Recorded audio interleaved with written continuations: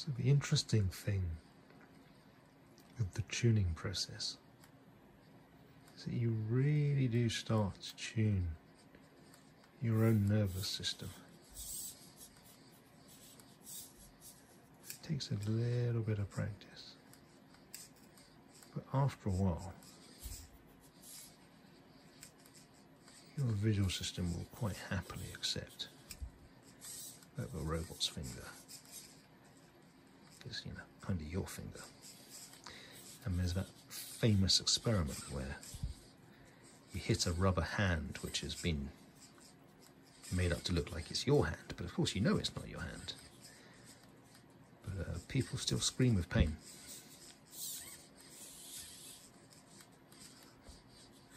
And I guess the really interesting question is whether or not they actually feel pain.